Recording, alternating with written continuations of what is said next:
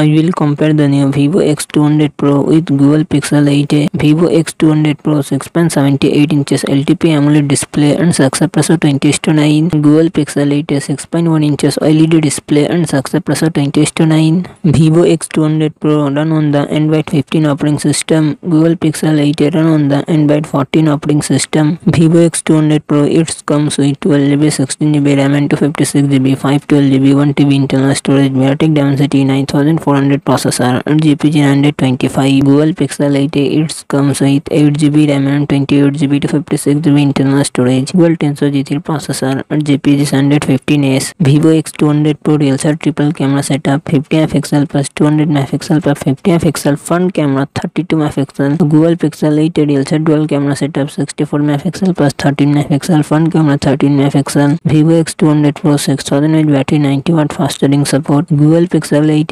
4492 mAh battery, 23 watt fast charging support.